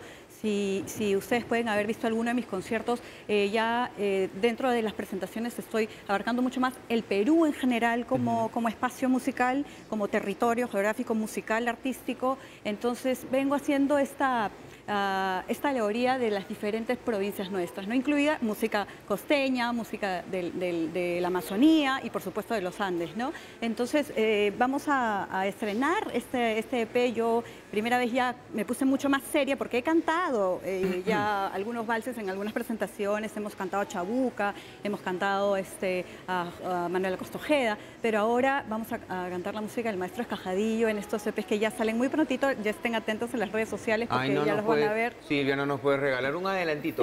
Algo, pero algo chiquito nomás, yo, yo- algo po- poquitito. Así, uy, wow, mira, me voy desde el himno hasta el otro lado. A ver, a ver, por Wow, favor. sí, me- Esa es la maravilla, la a maravilla de la música. Sí, muy lindo. Yo soy la que te dio el primer beso en una noche de verano. Yo soy la que creyó en tus promesas y caricias hace años. Yo soy la que hoy a ti regresa cual fantasma del pasado a preguntar qué fue, qué fue, qué fue de ti y qué has hecho del amor que yo te he dado. ¿Qué tal dominio del instrumento? el Qué susurro. Hermosa Gracias. voz. Lindo, gracias, muchas Wow, gracias. Cuéntame cuánto increíble. tiempo has estado, has estado estudiando, cuánto tiempo hay, cuánto tiempo te llevó eh, el conocer tu instrumento. Mira, eh, yo siento, yo me siento una privilegiada porque siento que toda mi vida ha sido un entrenamiento, desde muy niña, desde muy niña subirme a los escenarios, del colegio, del jardín, de la secundaria, armar mis bandas, subirme a los diferentes escenarios en los que me he subido toda mi vida. Yo he llegado a la conclusión a la luz de hoy que eso ha sido un gran ejercicio para mí. Que yo ahora, por ejemplo, me paro en el, el Teatro Nacional y siento el reto de un espacio tan importante, pero siento también que, que he venido preparándome poco a poco. Y esa es una de las claves que creo que ahora eh, atesoro más. El prepararse constantemente, la preparación constante, el no dejar, no dejar de lado el entrenamiento, el conocer más, en, en los diferentes aspectos, porque los artistas no solamente tenemos que entrenar nuestro instrumento, sino tenemos que, por supuesto, conocer la historia de las canciones. En mi caso, me ayuda la- la- la profesión que yo tengo, soy antropóloga, leo mucho alrededor de nuestra peruanidad. Entonces voy nutriendo mi ser como artista y eso lo he hecho a lo largo de todos estos años eh, y la disciplina que he tenido para poder ¿no? eh, eh, encaminar mi voz. ¿no? Tuve la suerte de encontrar un gran maestro, fue cuando estuve en Los Ángeles en el año 2008, el maestro David Gordon me dijo, bueno, usted hace este, este régimen de calentamiento diario y va a ver lo que va a hacer su voz. Y así fue. O sea, poco a poco sigo en eso, sigo en eso, sigo en eso. Soy una estudiante eterna en cuanto, en cuanto a voz. Silvia, qué lindo el mensaje que, que acabas de, de dar, el entre líneas, es, es mágico porque definitivamente la disciplina te puede llevar a, a- a formar grandes caminos como lo que, lo, lo que tú estás haciendo con tu carrera y además no solamente con tu carrera porque estás llevando también el nombre de, de- de nuestro país muy en alto. Ahora, viene la pregunta de rigor de, de aquí del programa. ¿Cómo eres en la cocina? Ay, lo hubiera traído a mi esposo para que No te puedo creer.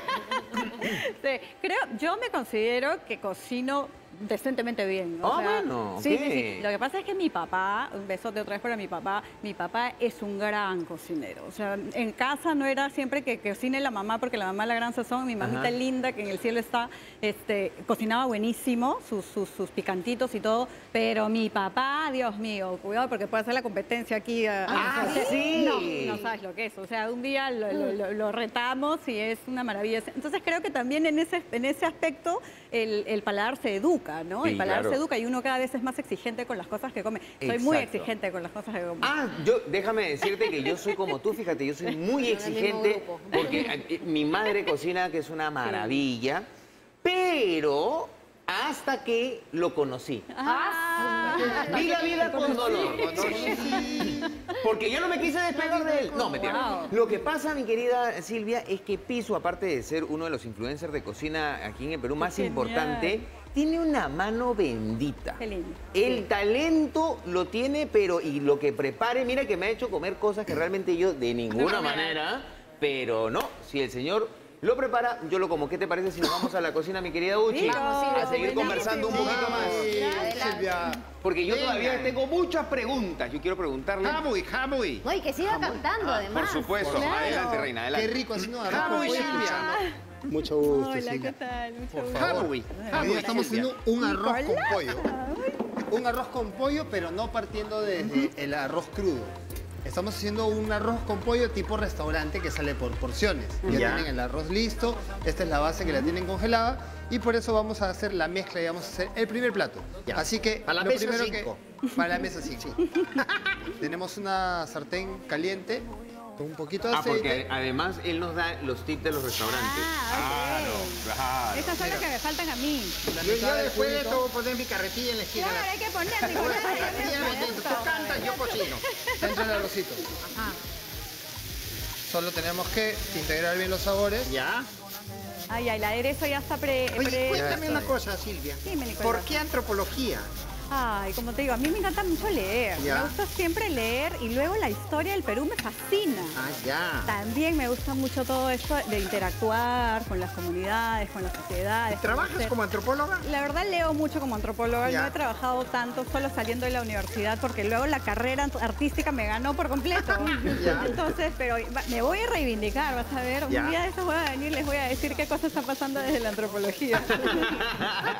Y es que definitivamente eso te ocupa mucho tiempo. Sí, claro, es una carrera, la, la academia siempre es también otro, otra exigencia, ¿no? Y habría que, como, no dejo de leer, ¿ah? yo siempre estoy como que actualizada también, eh, visito mucho a mis compañeros o, o hablo mucho con mis compañeros de la universidad y estoy como que ahí, pero ya estoy así, me tengo que eh, seguir aplicando, digamos, para poder eh, continuar el, el- el- No quiero dejarlo, porque me dicen, Silvia, ¿ya para qué vas a seguir No, este, sí. estudiando? Y le digo, no, a mí me encanta, me encanta leer, Claro. yo quiero, quiero seguir, quiero, quiero continuar, de repente hacer una Te ayuda maestría. a amar el Perú más, ¿no es cierto? Sí, exacto, me encanta. Me ayuda a, a entenderlo mejor y cada vez que uno va entendiendo el Perú es un dolor.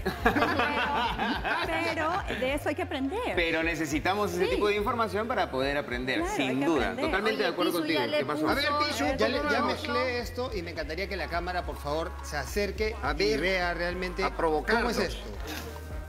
Así de rapidito. Si lo quieres más verde, le puedes echar más culantro, le puedes echar espinaca también. Yo usé lo que teníamos y así de rico queda. Mira, bien mezcladito.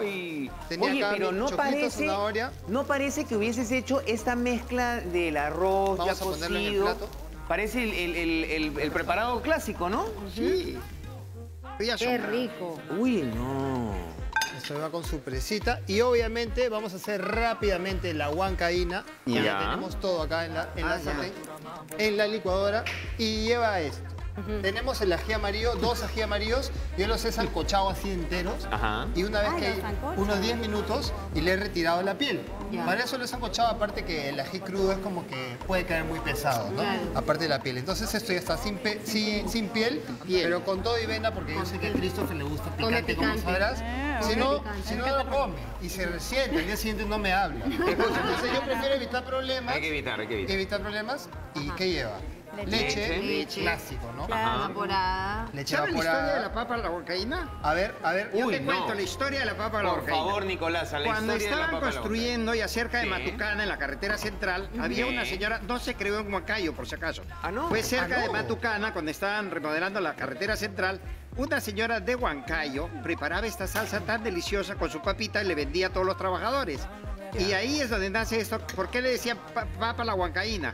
Porque la señora era de Huancayo, entonces vamos a comer papa donde la huancaína. Y al final terminó llamándose papa a la Entonces, huancaína. no se hizo en Huancayo, pero sí lo hizo una huancaína. Una huancaína, claro. Y la gente decía, vamos a comer la papa de la huancaína, que era la señora que los vendía. Nicolasa lo sabe todo. Sí, Nicolasa lo sí, sabe. es Es verdad, vieja, es muy verdad. vieja. Ella también es antropóloga. Sí, yo sé, yo Sí, creo. Tiene doctorado, es más. Sí, por supuesto. Mi querido Pisu, ¿nos Dale. puedes contar, por favor, el valor nutricional del plato tan delicioso que estamos Mira, preparando. hoy día vamos a hablar de el queso. Ya. ¿Por qué? Porque ¿Por es qué? el Día Mundial del Queso. Es Día Oh, Mundial. Es, es lo que estamos usando. El arroz con pollo, obviamente, pues... Uy, perdón, esto está prendido. Uy, Y es. Día Mundial del Teatro también. No sé. También. También, un saludo para todos. Y para los quesos que hacen teatro también. Vayan al teatro. Bueno, el queso, ¿El sabemos queso? que... Mira, mirando la cámara, ¿dónde está? Ya. El queso, tú sabes que es un gran alimento porque contiene muchas proteínas. Es mejor que lo comas sin sal, obviamente, para, para bajar un poco el sodio. Ya. Y aporta más o menos por cada 100 gramos de queso, 20 gramos de proteína, aparte de calcio, fósforo y muchas vitaminas y minerales. ¿Qué te parece? Uy, o sea, es un platito que viene, digamos... Súper saludable. O sea, si tú no tienes... ti- tienes Estás muy ocupado en el día y tienes que tener tu lonchera, tienes que tener tu, tu proteína, tu carbohidrato, El arroz con pollo. un pan con queso, con su 100 gramos de queso, tienes 20 gramos de proteína, con su pan, Ya. chorrito de aceite de oliva, orégano y tienes un Yo plato. pensé, que, yo pensé que me iba a decir, si tienes un día atareado y tienes que hacer un trabajo, Delivery. llévate tu arroz con pollo. Ah, arroz con pollo. Pero estamos hablando de algo más rápido. Ah. Entonces ahora para terminar este platito, vamos a licuar acá las loncheras. Para las loncheras. Perfecto. O si soplo con queso, con queso, como acá y como acá era riquísimo. Lo más importante siempre es llevarle a los, mandarle a los chicos una lonchera nutritiva para que así también se acostumbren a comer. Claro. Porque a veces ahí el problema está que, ay, mi hijo no come esto. no-". Ay, es porque de chiquito no, los, no les insistimos. Hay que insistirles nada más, es cuestión de Vayan probando de a poquito. ¿Tienes hijos, Silvia? Sí, tengo una nena que ya va a cumplir ocho años y así como le encanta la papa a la huancaína. Le Ah, encanta qué la. Come Ya canta. Con, con- le encanta, con, con Ya canta, dice ¿Ya está Nicolás. Sí, cantando? canta y toca el piano. Ay, ya le estás enseñando a hablar quechua ya. Está, eh, cuenta hasta el 10, sabe su- las partes de su cuerpo, ahora que su abuelo tiene que enseñarle así para que pueda comunicarse mejor, Claro. más fluido, sí, ay, la verdad que es un viaje, lo- los niños son un viaje. son- ¿Cuántos años tiene ya? Va a cumplir 8. Ocho años. Sí, va a cumplir. 8. Sé que Ocho añitos todavía está en una edad hermosa, diría yo. Es todavía, ya cuando entran a los 11, 12, ya va cambiando. A los 18 ese problema ya. Ya a los No, 18 ya, ya ese es otro A problema los también. 15, a los 15. Sí, ay, la adolescencia también. Silvia, yo te quiero contar que aquí en el programa nuestro querido Piso, como ya bien has escuchado, que es eh, chef, pero eso lo hace en sus ratos libres en realidad. Porque su profesión, él es, actor, cantante, compositor, Improvisador. Poeta, rapero, poeta, Lanzador de bola. lanzador de bala. Lanzador de bala. Pero la característica principal que él le puso a este programa es el baile de piso. Oh, wow. Entonces, sí, aquí todos Pero ser pasamos por el baile de piso. Hoy es festejo. ¿Festejo? Hoy día festejo. Hoy festejo el baile del piso. Ah, ah, ok. Entonces, por favor, bellas damas. Vamos. Ritmo, color y sabor le vamos a poner acá. Tú déjate llevar nada más por él. A ver, Piso. Ahí está. Mira, es. Que la música entre a tu cuerpo, Silvia. Con un paso para atrás, un paso para adelante. Claro. Ahora, Eso es.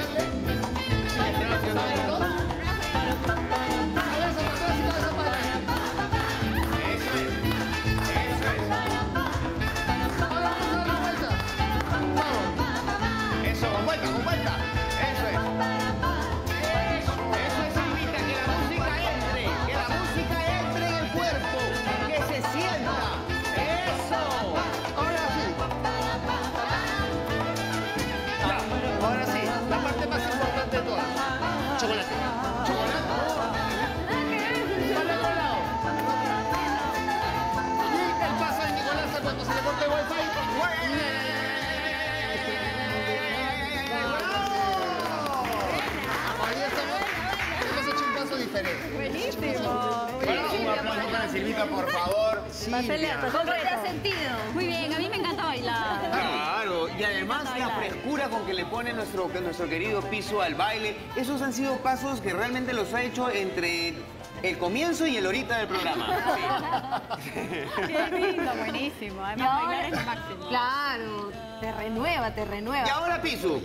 Ahora vamos a terminar de licuar y echar la galleta de soda para que espese. Ya te Eso ya va a depender de ti si te gusta bien espeso, si te gusta un poco más cremoso. ¿Cómo te gusta? Es que sí, ¿Espeso? no, a mí me gusta así, es que sí. Vamos a probar sí. para ver el punto de sal. Pica. Sí, ya. Pica, Pica, Cristo, pero este es como para ti, ¿ah? No lo sé.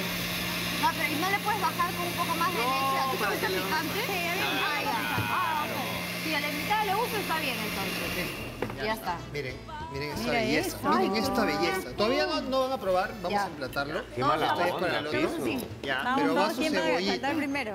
Su cebollita. Ya. Ya. Ya no le puse culantro porque ya tiene mucho culantro licuado. Ajá. Le está haciendo Y además Y vamos a echarle ahora su, su, su hualcay. Nicolás, ¿por qué lo agarras a piso? Para que me leve mi, mi tupper, pues. Ya no le pongo la papa porque mucho carbohidrato. Ya mucho carbohidrato. Mucho Ya, carbohidrato. claro. Ya no es Ya queda como necesario. una salsita que acompaña. Claro, Claro. pues, es que el arroz Ok. con pollo sin huancaína. Sí, Ya. no, no, No, no entonces, funciona. ¿qué te parece, mi querido Pisu, si la dejamos ahí nomás y nos vamos a la pausa y luego de la pausa Comemos. probamos el arroz con Micuy. pollo, continuamos con Silvita, eso es más conectados. No te muevas, ya volvemos. Mi cuy. Eh, eh, a ver.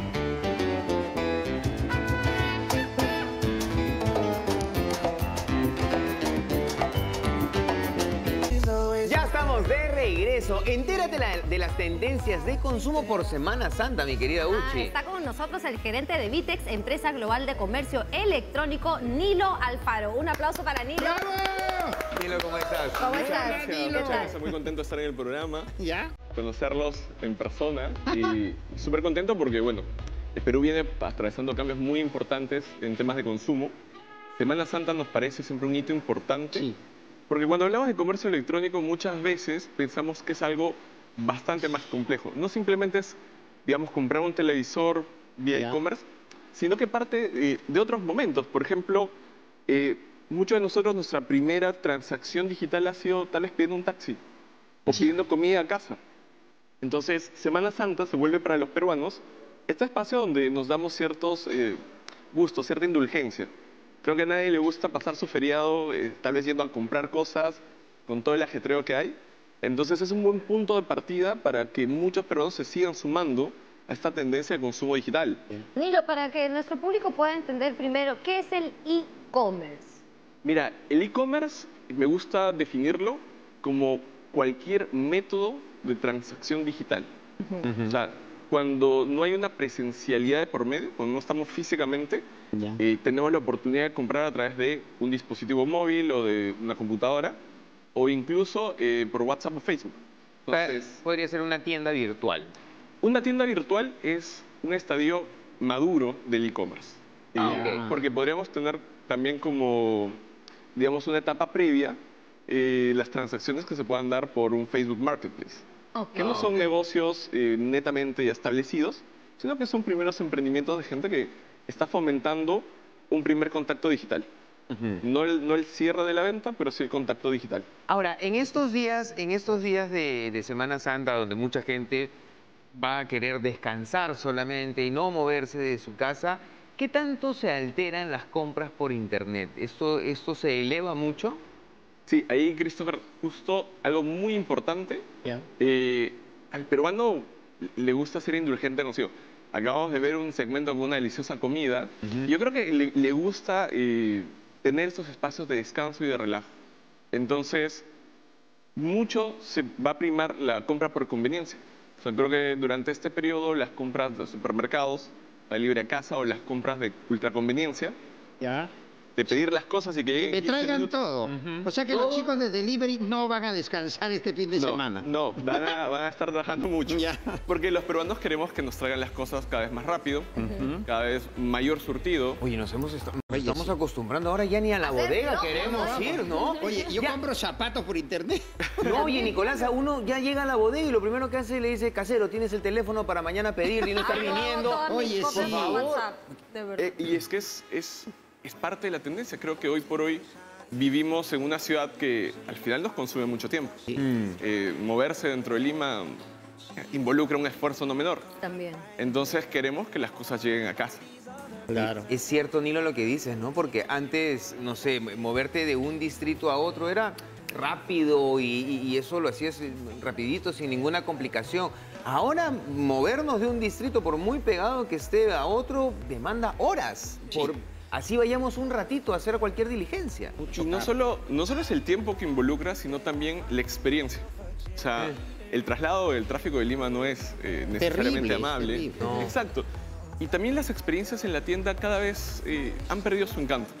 Yo creo que cuando todos éramos mucho más jóvenes y decían vamos a comprar una tienda, era parte de, de un punto importante en la semana. Oye, pero a mí me gusta salir a las tiendas, vamos con mis amigas, porque somos más lenteja para comprar, porque nos paran estafando.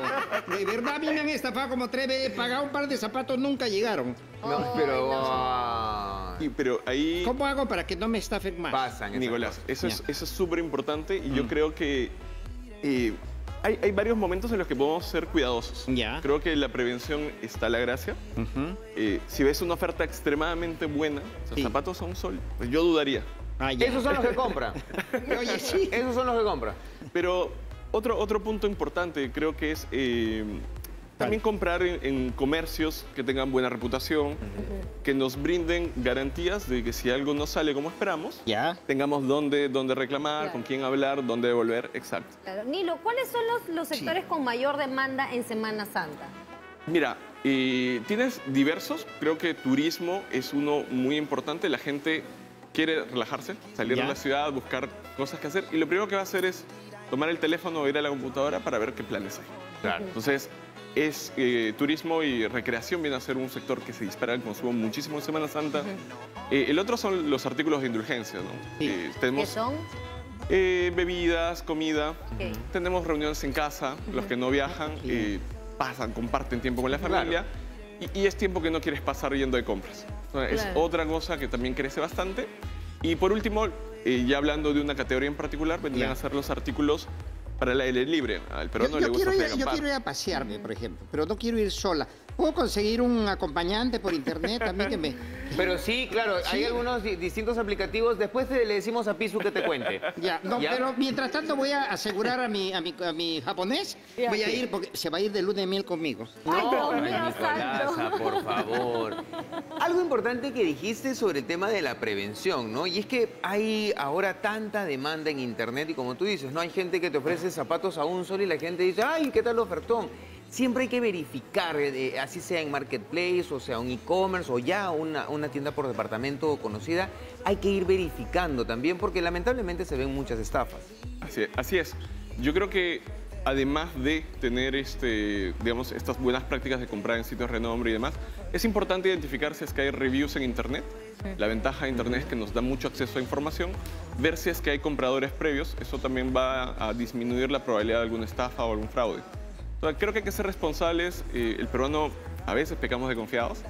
Entonces, tengamos esto en consideración antes de pues, hacer una compra online. No digo que sea riesgoso, creo que hoy por hoy vivimos en un mundo bastante seguro. Eh, sin embargo, también hay que tener estas consideraciones para poder comprar tranquilos. Así es, Nilo. Muchísimas gracias por estar con nosotros esta mañana. Muchas, muchos datos importantísimos, so- sobre todo porque ahora, como también lo dijimos a inicios de la conversación, mucha gente va a estar en casita viendo qué oferta comprar y qué oferta... nosotros que no vamos a hacer nada. No quiero salir a comprar Sí. nada. Ya estamos con los delivery, que a qué hora llega. hora. Nilo, un placer tenerte aquí en el programa. Muchísimas, gracias. Such, muchas gracias, Chris. Hasta la próxima. Hasta la próxima, sin duda. gracias. Nos vamos rápidamente para la cocina para ver cómo está el arrocito con pollo y la papita a la huancaína que no tiene papa. Vamos a servir nuestro último plato y así de rápido, como si estuviéramos en un restaurante. Por favor, un arroz con pollo, sale. Echa, echas el aderezo, echas el aderezo, echas el arroz. rápido, antes que se vaya el cliente. Antes que se vaya. Ya, entonces... Para la mesa 5, para la mesa 5 tienes que dar. Ya está. Una salteadita, Ya. sus verduritas. Sale No, rápido, ¿no? Ahora yo soy parte del bloque de cocina. Claro. Eso. Yo me quedé en el bloque de cocina y estoy... Ya, pero queremos Sí, tú tienes aprovechar. asistente, ya tienes asistente. 12 segundos para el plato. No, ¿Ya sí, hace- cante otra vez. Vamos un a emplatar. poquito, Ay, sí. Mientras vas, vas sirviendo Pichu. Un bolero, un bolero. Así de rápido. Un bolero de esos... eh, ¿Qué tal si otro de esos temas que va- van a salir? ¿Qué Ya, tal? ver, sí, dale, sí, dale, sí. dale. Um, ¿Cómo empieza? Baje el volumen, señor director. Ya, Silvia. A ver, ah, ya, ya. Todos esperando la señora. Estoy toda así, Está con hambre, el está con arroz, hambre. Y no sé cuánto, estoy hipnotizada. Que no se puede sí. concentrar uno con esto. Yo te entiendo, Silvita, yo te entiendo. Sí. Ya te queremos Ahora sí, saber. dale. Vamos. Cada día muero yo esperando aquel error y ya habrá mañana ni un nuevo verano para nuestro amor. Por momentos creo yo ver tu imagen regresar, alumbrada por la luz, la luz del viejo faro. Cada día muero yo, voy pagando aquel error y ya no habrá mañana ni un nuevo verano para nuestro amor. ¿Qué tal vos? ah? ¡Qué hermoso! Oye, eso, es de la época de mi abuelita. Precioso, ¿Verdad? precioso. Sí que antoja comer un arroz con pollo Ya. con. Para que vaya bien criollo. Jamón y favor. Jamón y micuy. Upaya y micuy. Micuy, micuy. Silvita, tú estás hablando de un lanzamiento, pero no nos has dicho fecha. ¿Para cuándo vas a lanzar este Es- nuevo, esta nueva producción? Está saliendo en abril, la nueva producción sale en abril, eh, ya estén atentos a las redes sociales, estamos ahí en Instagram y, y por supuesto sale en Spotify eh, y hay un video, así es que también por YouTube van a poder ver el video en vivo del, del session que, que hicimos para estos tres maravillosos temas del maestro Escajadillo. Así es que estoy muy contenta, además está en fila el lanzamiento de, de- de Matarina, que es este clásico cajamarquino, Ajá. ¿verdad? Eh, también ya lo tenemos listo, está- estamos preparando el video. La verdad que estoy en un año de, de- no voy a hacer ninguna presentación grande este año, pero voy a, estoy preparando esas producciones, preparamos un concierto en Washington para, en para julio y me voy de gira a Suiza en, en agosto. Ah, Así es que estamos un poco No- ocupaditos. ¿No necesitas una maquilladora? Yo, Yo puedo creo ir. que puedo llegar a la maquilladora porque a veces se sale, cae la pestaña, Nicolás. Bueno, ahora sí, jamón y micuy. Hay que probarlo. Por favor, Uy, ahora sí, queremos que pruebes este plato para ver si es que te hace acordar de repente a tu papi, de repente dices, mmm, ah, de no llegaste, Sí, Pisu, lo lamentamos. Pero Comenta ¿sabes que que no come picante. Sí, el picante sí no lo voy Ya. a comer por lo que vamos a tener que cantar después también. Ajá, ajá. Pero si no poco. te gusta, ya sea upayaya y micuy. Upa, ya, eh, micuy. Dale, vamos a ver. ¿Sabes qué es upayaya micuy, no? Come y calla, dice, cómete y calla. ¿Qué tal? Buenísimo. papá? ¿Como el de tu papá? O sea, tú lo puedes probar y no puedes saber si lo hicieron en una olla o lo mezclaron. o lo mezclaron, Porque tiene todo el sabor, tiene el, Ah. el sabor desde que se doró el pollo, ¿no? El sabor a la cerveza, todo se ha concentrado. Por favor, Christopher, tú cómelo con ají como te gusta. Claro. Que por ti le he puesto toda la avena y la pepa. Yo sí, mira, mira cómo voy a levantar Ah, aquí el sí arrocito. pica, ese sí Nicolás. ¿qué estás haciendo? Después voy a probar. Está con Nicolás hambre, está Nicolás con está hambre. con hambre. Ahí voy, ¿ah? Cris. Uy, esto está sabroso. Sí. ¿Qué Pásame. tal? A ver qué tal. Está bueno. Oye, Se va, se va, para al corte. compartir por si Se va al corte acaso, con el ¿ah? plato. Mi querido Pisu, Silvita. Uchi, Nicolás, Oye, no. chapo, lo lamento por ustedes, pero este plato no lo van a tocar. ¡Nos vamos a la pausa! Ya regresamos, no te muevas. ¡Qué cosa para más deliciosa! Oye, comparte. No, señora. Se asegura, ¿no? Se Sí, se agarra.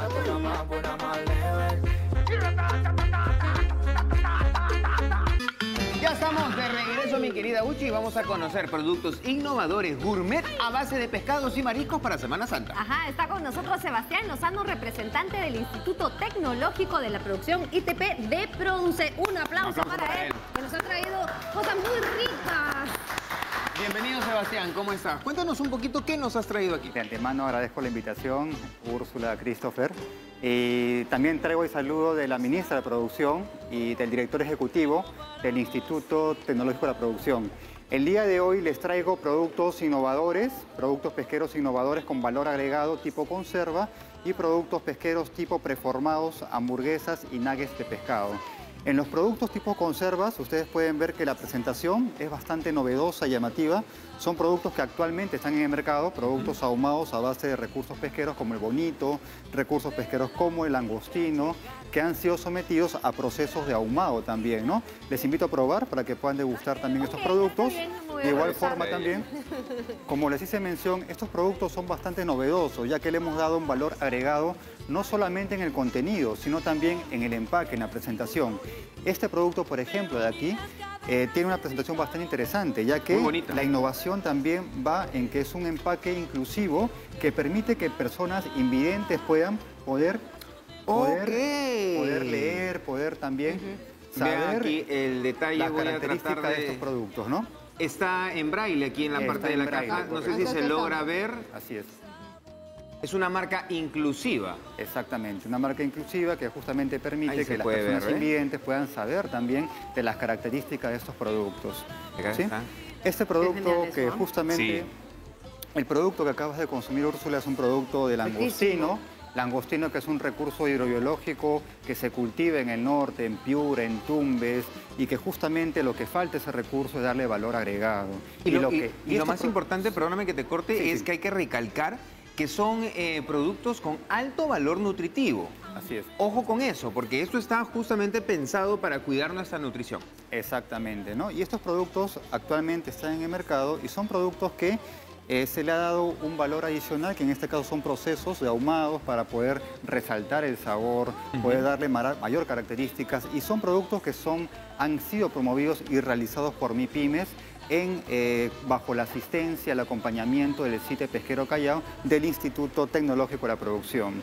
¿no? Lo que justamente queremos nosotros, que estas empresas MIPIMES puedan ser más competitivas en el sector, puedan insertar esos productos a nuevos segmentos de mercado. ¿no? Por ejemplo, este producto que está aquí, que es un producto medallones de caballa, fritada en salsa de escabeche, un plato Ah, wow. preparado, que aquí está también para que puedan probar. Es un producto que ha ganado el premio de innovación gastronómica el año pasado y es un producto bastante novedoso que actualmente ya está en el mercado. Y también estuve viendo ahí en la parte de allá que tienes un picante de pota. Exactamente. A ti que te gusta bastante el ají, Christopher, Ah, sí. y lo sé bastante, aquí tengo este producto para que lo puedas también degustar. Este es el producto que tiene pota ahumada eh, con ají charapita. Oye, ahí está. Uy, uy, uy, ay. Así es. mírenlo acá. Muéstralo primero para que vean. Aquí Ahí lo está, tiene. Para que lo puedas degustar. ¿Se puede ver? ¿Se ve? Ahí está, ¿ves? Ahí está. Aquí está eh, El el ají ají. charapita. Aquí tienes el ají charapita y aquí ya Pero tienes... tienes que comerlo con el ají charapita. Vamos a probarlo como tiene que ser, ¿Se va a Uchi. comer un ají charapita de verdad? Claro que sí. Muy bien. Ah, Y además- el agua, preparen el agua. Y además que ya he dicho muchas veces que la caballa es uno de los pescados que más me gusta. Ese es pota, pota. Ah, perdón, es pota. pota. Ah, a mí me encanta Yo la estaba pota. ya leyendo. Sí. Ya me, ya me mareé ya. A ver, ¿qué tal? Muerde, muerde el ají, muerde el ají. Buenazo. Buenazo, como dice Pino, buenazo. Perdón. ¿Cuántos gramos tiene esta lata? Son 120 gramos de contenido. 120. Oye, bien, bien servido, ¿ah? Esto también lo pueden comer los niños, pero claro, es algo que... Es- eso es más que nada mucho, como un piqué, un acompañante. Y ese producto yo quiero resaltar que la pota es un recurso pesquero muy capturado a nivel nacional. Y la parte del tentáculo es la parte menos valorada, es la parte que se elimina, que se le da un menor precio. Y lo que nosotros queremos con estos productos es darle valor integral a todo el recurso, ¿no? que también los tentáculos sean valorados, sean aprovechados para que, y mediante productos muy innovadores, ¿no? para diferentes segmentos de mercado. Sebastián, estos productos son desarrollados por MIPES Pes- Pesqueras, ¿cierto? Eh, son desarrollados por el CITE Pesquero Callao en atención a pequeñas empresas, ¿no? Para que puedan insertarse en nuevo mercado. Nosotros como CITE Pesquero Callao contamos con instalaciones de procesos habilitadas que cuentan con maquinarias muy modernas, in- este, actualizadas para que pueda desarrollar toda esta gama de productos. Oye, esto está riquísimo y lo que, lo que te quería preguntar, esto básicamente ya es un plato mm, para Es un una plato persona, preparado. sí, ya es un plato que simplemente esto le pones un arrocito, Son unas productos de consumo instantáneo. Y aparte de esto, de estos productos que ya están en mercados, nosotros también fomentamos bastante la investigación, el desarrollo con las empresas y hemos trabajado eh, acciones para poder desarrollar prototipos que aún no están en el mercado. Por ejemplo, este producto Ujú. de aquí, ¿no? Ajá. Que Eso también todavía no está en el mercado. no está en el mercado. prototipo. Un prototipo, Ok. correcto, que es un producto tipo tuco de pota. Tuco de pota. Tuco de pota, ¿Ve? como un acompañante a un plato de fondo, Ajá. que es un producto muy similar a una conserva en envase de hojalata. Ha pasado por el mismo proceso, Ok. se almacena bajo las mismas condiciones, tienen el mismo tiempo de vida útil, ¿no? La diferenciación es la presentación, el empaque, ¿no? Oye, Así pero es. mira, mira, mira la cantidad de variedad que además nos han mostrado hoy día. ¿Dónde podemos encontrar estos productos? Para poder, este, en esta parte aprovecho de mencionar de que si las empresas desean la asistencia, el soporte del sitio pesquero Callao del ITP, nos puedan contactar en nuestras redes sociales, en nuestras páginas web, para poder conocer un poco más de estos productos y también conocer a las empresas que nos los vienen comercializando y poder saber los puntos de venta. Y acá los chicos, me- la- los chicos, las chicas de producción me están diciendo que Y- se han vuelto locas con un chaufa Este aquí- enlatado. Así es, este de aquí. Este producto de aquí que es chaufa de bonito enlatado, que es un producto recién desarrollado a nivel prototipo. ¿no? Es ¿Ya está a la venta todavía? no, está todavía en prototipo y también les invito, eh, Christopher Úrsula, para que lo puedan consumir. Es un producto que lleva los ingredientes loco. clásicos de un arroz chaufa. Oh, El mira qué locura. La caballa sofritada, sofritada en aceite, pimiento. Bueno, ahorita todavía esto, ahorita todavía esto no está a la venta, pero ya para el próximo Pero- año, si te vas de, de campamento, Semana Claro. Santa, 28 de julio, cualquier momento que te vayas de campamento, mira, Ya. te puedes llevar tu chaufita en lata y asunto Ahora solucionado. señor. Usted probó el primero, ahora pruebo yo esto. Obvio, obvio. Me toca, ¿sí o no, Sebastián? Claro, Exactamente. Claro. Pero yo, yo- pero Mmm, qué rico. Y frío Buenísimo, también. Buenazo, buenísimo, ¿ah? buenísimo. Y a esas rico. condiciones debe estar rico. puede estar almacenado y co- De ahí a cuento. condiciones puede estar almacenado y conservado con un tiempo de vida útil de cuatro años. Ahora, fíjate, ¿De yo... cuatro En años? cuatro años almacenado en condición a temperatura ambiente. Mira, le acabo de encontrar un uso importantísimo a estas latitas. Primero, la mochila de emergencia. Hay que llenarla de latitas de, de- de chaufita, de atún, etcétera. Por otro lado, nosotros que nos volvemos locos con las loncheras saludables, mira la facilidad que tienes. Le pones una latita a tu hijo, a tu hija y asunto resuelto sí. porque así vas, va a tener además Pero un no alimento solamente los productos que presento ahora son conservas, también tenemos productos preformados tipo hamburguesas y nuggets, ¿no? Que les encantan a, Ideal los para chicos. los chicos, los voy a niños, probar, ¿no? para Hamburguesa de, ¿De perico y ¿Ya? nugget de trucha. De tru- Este es de trucha. Exactamente, Qué rico. Así es. Para tu nieto, Nicolasa. Sí. Ese es de, Trucho, trucha, de trucha. Sí, trucha es el recurso Para mi agrícola bebé. más cultivado a nivel nacional, ¿no? Oye, está bien rico. ¡Me imagino! ¡Me imagino! Mu- Tremendos productos que nos has traído. Muchísimas gracias Sí. por estar con nosotros eh, esta mañana. Repítenos, por favor, dónde podemos encontrar y a partir de Sí. cuándo vamos a poder disfrutar ya de los productos que están en prototipo. Eh, sí, justamente los productos que están actualmente en prototipo, solamente faltan actividades de trámite de registro sanitario para que puedan ser ya colocados en el mercado, que va a ser pronto. Y de igual forma hago una vez más la invitación a las empresas pesqueras que quieran innovar, insertar nuevos productos con valor agregado en el mercado, nos puedan contactar eh, al Instituto Tecnológico de Producción, al CITE Pesquero Callao, para que puedan acceder a las ofertas que actualmente brindamos, que son capacitaciones, asistencias técnicas, soportes productivos, para que puedan elaborar y colocar en el mercado toda esta variedad de productos. Muchísimas gracias por estar aquí con nosotros y como siempre nosotros queremos que conectes con la información correcta. Productos con alto, alto valor nutritivo que es lo que nosotros necesitamos. Muchísimas gracias Sebastián, un placer haber Gracias. estado contigo. Nos vamos rápidamente a la pausa mi querida Uchi y yo me imagino que ya no tienes hambre porque ya comiste No, no, es que suficiente. estoy viendo que me voy a llevar a la casa. No lo dudo. Ya volvemos, esto es Más Conectados. Pero ni las cadenas evitaron el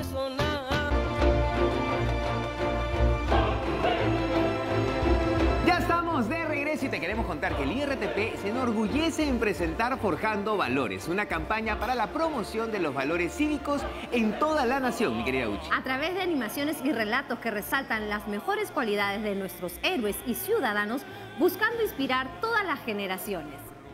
No te No te pierdas estas emocionantes historias en la pantalla de TV Perú y Canal IP y sé parte del cambio en el Perú que el Perú necesita. Así que vamos a verlo.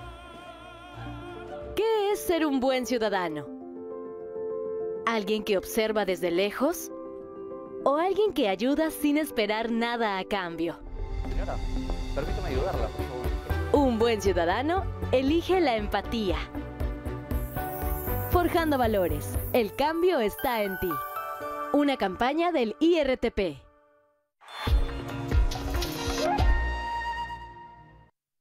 Hay metas que solo se logran con tenacidad.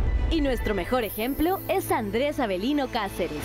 El brujo de los Andes lideró la mayor resistencia peruana durante la Guerra del Pacífico y nunca se dio por vencido. Su fuerte espíritu nos enseña que sin importar la dificultad, con tenacidad podemos superarlo todo.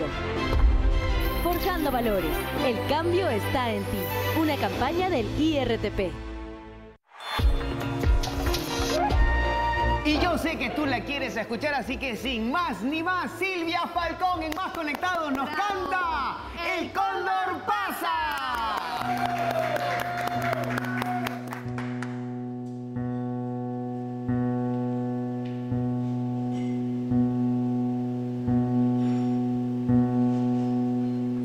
En sueños vi tus alas alcanzar.